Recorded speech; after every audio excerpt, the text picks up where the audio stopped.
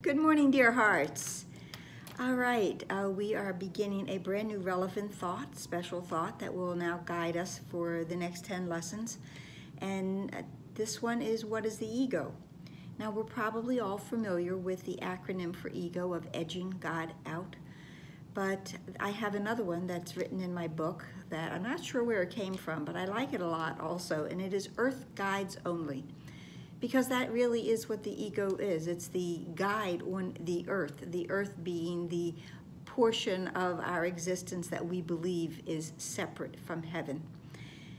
The relevant thought begins by saying the ego is idolatry, the sign of limited and separated self born in a body. I am not a body, doomed to suffer and to end its life in death it is the will, small will, air quotes, will, that sees the will of God, what is real and true, as enemy and takes a form in which the will of God is denied.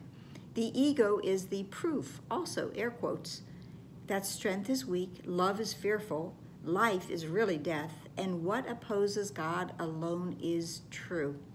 The ego is the one who started that rumor that God is dead. It's not. God isn't dead, nor are we.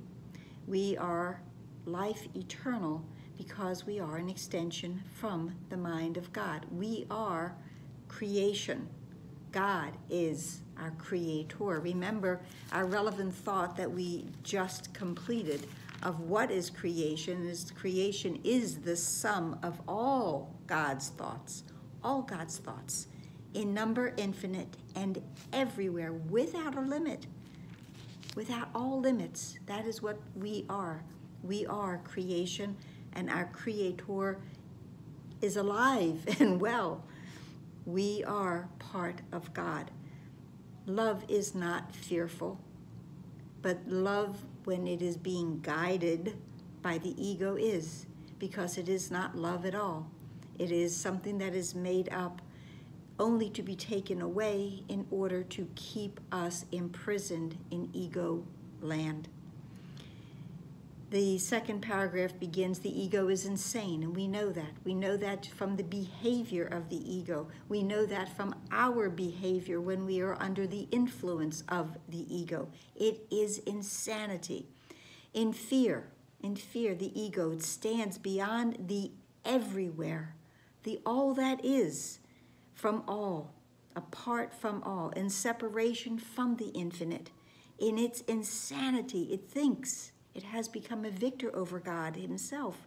And in its terrible autonomy, it sees the will of God has been destroyed, which of course is insanity to believe that. It dreams of punishment, the ego dreams of punishment and trembles at the figures in its dreams, its enemies who seek to murder it before it can ensure its safety by attacking them. Remember, I haven't said this for a while, but the ego's mantra is do unto others before they do it to you. That's what the ego is. Let me do it to you before you do it to me because I know. I know what's in your mind and in your heart, and it's it's not in my best interest to allow you to live. You must die.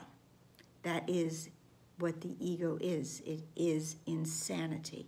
It is filled with fear and terror in every turn. This isn't where we want to be.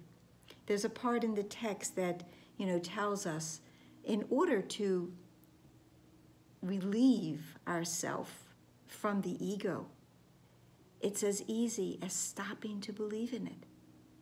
The ego is perpetuated by our belief in it. When we turn away, when we simply turn away from the ego, we learn to recognize that loud voice, that nasty voice in our head. We learn to recognize it and say, This is not a thought I want. This is not a thought of God. This is not the will of God for me. And with that, the ego will disappear. The, um, the formula, if you will, for that is that the ego is idolatry, it is insanity, but with forgiveness, it will simply disappear.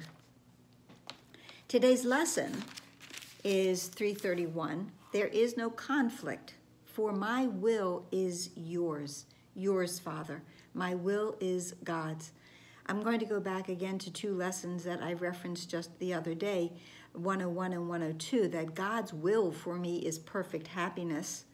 And then the second lesson is I share. I share God's will for me. Yes, that is what I want as well. I want perfect happiness, and there's no conflict.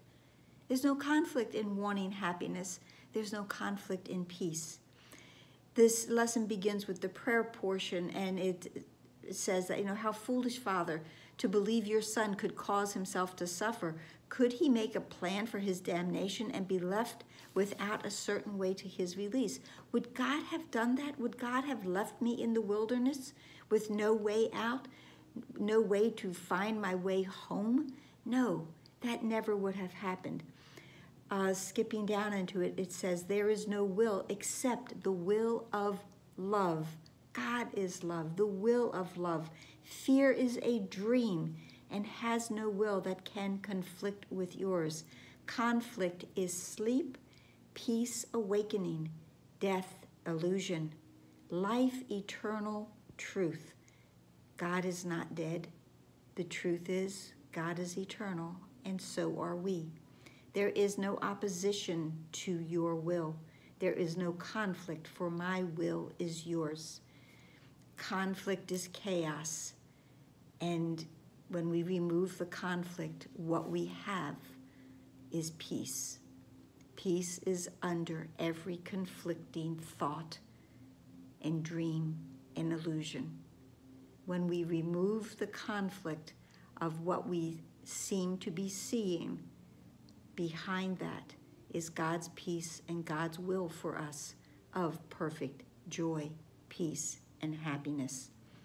The second part of the lesson says forgiveness. Forgiveness, there we have forgiveness, shows us that God's will is one and that we share it.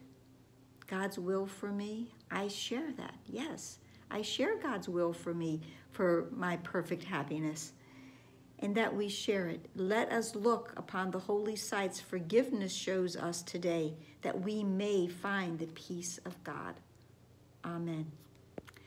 Um, there, there is no opposition in peace. There is no conflict.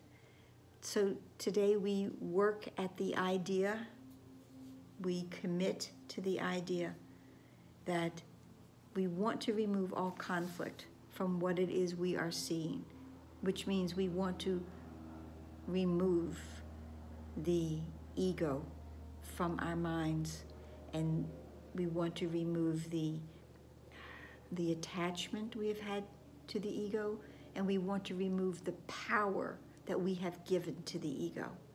We're simply going to take it away, turn from the ego, and not pay it any attention. Easier said than done. I understand that. But with God, all things are possible. That's it for today. Um, I hope this helped. Please like, please share, please subscribe. Don't think I said that. Please comment. I love the comments. I answer every comment. and please pray. Let's pray for the end of conflict, to release that, lift that, and all of us see the peace that is shining there, just underneath. Um, have a lovely day. Namaste.